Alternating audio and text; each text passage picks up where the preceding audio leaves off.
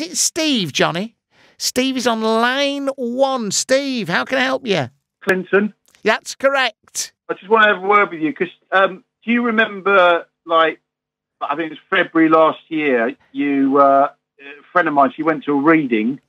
Um, Let me let me did. Yeah, let me just go back. It's February of 2019. She went to a reading. A friend of yours. What was her name? Up, it was up in Cambridge. Her name was Helen. Yeah. I see an awful lot of people. I'm intrigued. I'm intrigued. What What did Helen want to know? What did I tell her? Okay. Well, she wanted to know about someone called Reedy. Yeah. It's um. Reedy. It's not ringing a bell. Reedy. Yeah. That's his surname, is it? That's that's like his nickname. His nickname, Reedy. Helen wanted to know about Reedy. What did I tell? What did I say?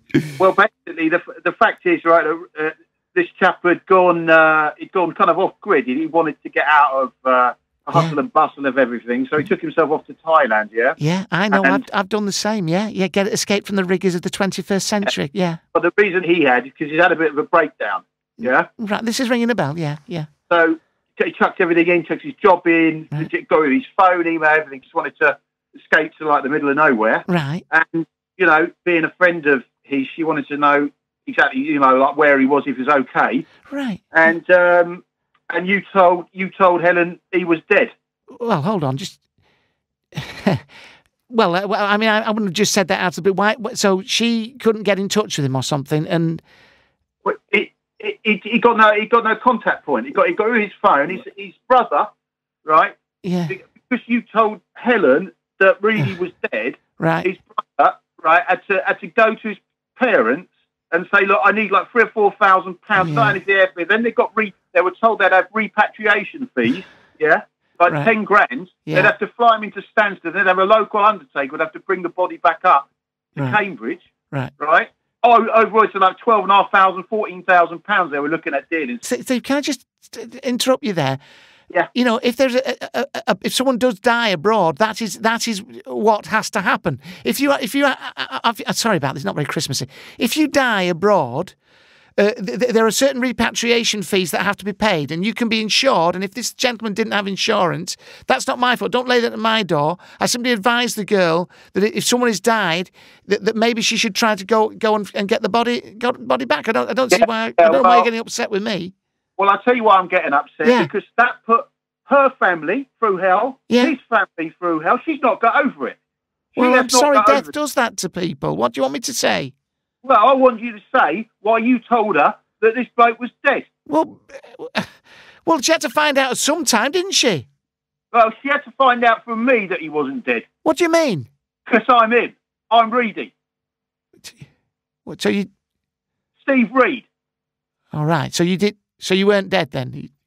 No, I was trying to get away so that I could have some kind of solace after a nervous breakdown. Right. Okay. And then I find out that my brothers had to come out there. He's, he's, he's, my mum and dad have now had to let their flat out so that he's got a repatriation fees for a funeral that doesn't need to bloody happen. Right. Okay. So, uh, well, it's a miracle you are still with us, and that's joyous at Christmas, isn't it? And and in a way, that's quite. Uh, I know you don't see it now, but it is quite Christmas. Christ rose at Christmas. Uh, no, it's not. It was Easter. Easter. Yeah. Yeah, That's right. yeah. Again, wrong. Sa- same- wrong again. Same principle. Well, I'm d- delighted that you are still alive, and if if if I'm, I was proved wrong at that about that, so be it. So, so, so be it that you're going to pay us I'm not-. Yeah. Well, if you no, I, I don't. I, well, I didn't know. Well, maybe with cross You're wires with cro- no, don't no need for language, is there? Yeah, it fucking is. If No.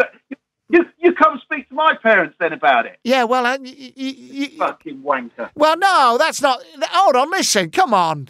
Little bit of Christmas spirit. You're still alive, and that's something, isn't it? You're still alive, and Spirit up, you arse you bullshitter. Yeah, well, you're a Fucking- bullshitter. I'm telling you this. I'm saying it's a nice thing at Christmas, isn't it? All I'm trying to do is spread a bit of Christmas cheer, and you phone me spoiling my show. I'll just say one thing: just, just, just don't leave us in a in in this high dudgeon. Just a simple tell you- happy Christmas would be nice. I did my best for your friend Helen. Take your fucking Oh. Christmas tree, stick it right up your arse, you fucking prick. Well, that's a real shame, isn't it? Let me tell you something. People have got this podcast and they like it, and it's spiritual. There's Yeah, no need for that sort of fucking language. Phoning me up. know the truth about you. You Yeah. fucking turn around stirring shit up in people's lives. You're a fucking liability, Oh, mate. that's charming, isn't it? This Yuletide. Right, cut him off, Johnny, please. Where's he gone? And the other thing you can do as well, you Oh. can stick your fucking podcast up your ass. That's a piece of shit as well. Fade him down. Cut him off. Right, just see if he's. Fraud, wasting everyone's time, bullshitting people. It's enough comment with oh, don't need a fucking two-piece lumber like you, you fucking Okay, wank. just cut him off. Can you see? Cut... I know he's phoned in. Surely you can cut him off. I know. yeah, So he phoned in. I've got to wait for him to put his phone down. Yeah, oh, you pay for the phone call as well, then. Right, turn him down. Cut him off. Right, is he? Do you think he's still there, Johnny? I am still. And I tell you what, Christmas is like a time when people are on their own. Or, Yeah, why are you spoiling it for them? I'm trying to help people, stop you stop spoiling their fucking Well, I'm lives. not. I'm, I'm, I'm a welcome, uh, welcome company for some people who want to listen to this, and people are very spiritual at Christmas, and you're ruining it, and you're pulling the rug uh, from underneath them. Because you know you've been caught, you've been banged to rights, you fucking phony. No, I'm. Listen, you want to fucking go off halfway around the world without taking a mobile phone? That's your lookout. And you got a lot of people at home worried about you, and Jim's simply asking me. Fucking Phileas Fogg, you prick. Like you go, anyone can go off around the world, can't they? These are fucking fun. It's up to them what they do. Yeah, will you fuck off back there then and fucking leave me alone? Get back to Catman fucking do. I fucking come round to your place and I find you there, mate. I'll fucking do your nutting. Yeah, well, I tell you what. If you do decide to come round here, take a fucking mobile phone with you so people know where you are. They won't be so worried about you. And I tell you what, you come round here, they shouldn't be fucking worried about because I'll batter you, you cunt.